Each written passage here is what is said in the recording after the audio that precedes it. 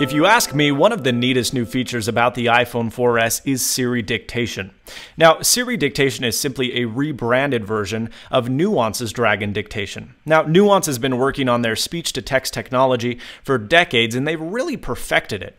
It's really especially good with a microphone that's of decent quality. And as many of you know, with the iPhone 4S, it packs a very good microphone, making speech to text recognition something that's very plausible. With these tips, you can dictate not just a sentence, but whole paragraphs, even complete emails or novels without ever having to touch this keyboard. That being said, though, unlike a human, Nuance's Dragon Dictation and Siri Dictation can't recognize basic speech um, speech things that we do in day to day life. For example, it doesn't recognize pauses, and it doesn't know to insert a colon or a comma or a period where you do pause. And so we're going to have to dictate that and learn a couple nuances pun intended, to get uh, things to work harmoniously and grammatically correctly. So let's get started.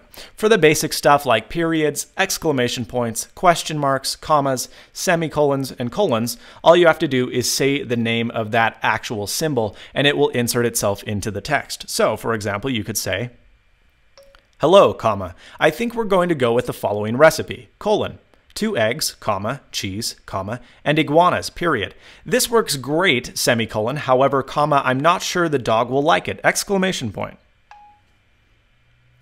Now that's great. As you can see, it's very darn accurate. Check this out. See how there's a little blue squiggly under that?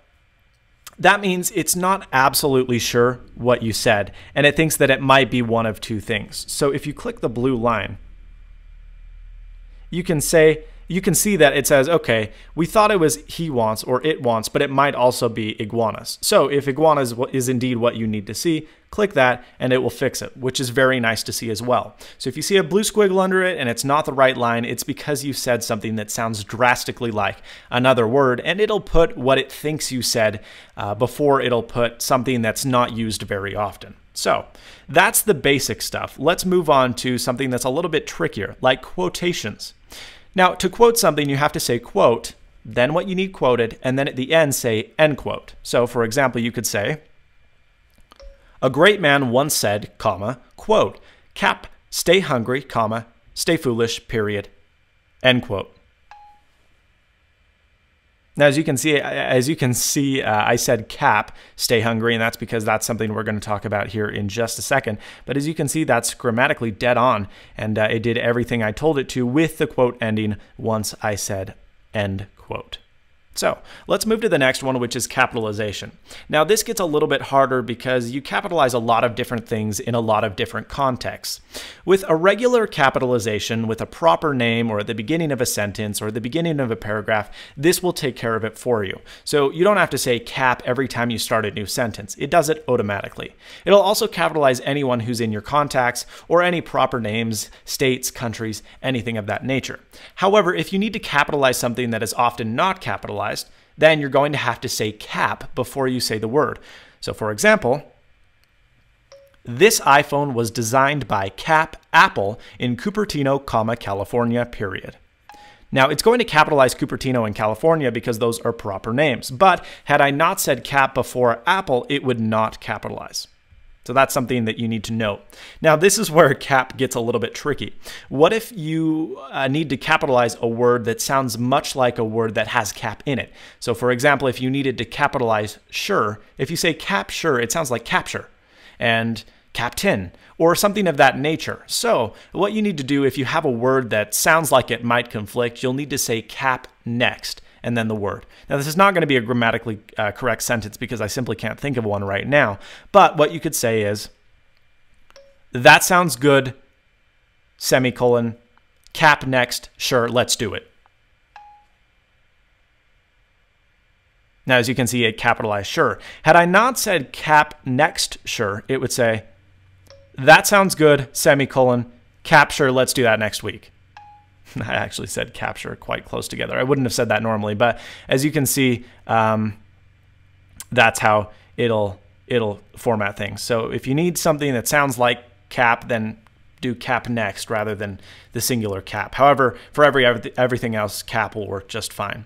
Now, if you need to capitalize a title, for example, you can say cap on and cap off. Now, this works great for book titles and everything because it's not going to capitalize every single word. It only capitalizes words that it knows should be capitalized in a sentence or in an, a title. So, for example, I could say, cap on a long way gone, semicolon. Memoirs of a Boy Soldier, cap off. Now, as you can see, it didn't capitalize of or a because it knows that's not how it's actually supposed to be. Pretty darn cool. Now, what if I want to capitalize every single letter? All I have to do is say all caps on. So, all caps on, OMG, period, I hate you, exclamation point, all caps off. There we go. Now, what if you need to start a new paragraph? All you have to do is say new paragraph. So you could say, Jacob, comma, this meeting time sounds good, period. New paragraph. Let's cover the basics, comma, shall we? Question mark. There you go. Pretty darn cool.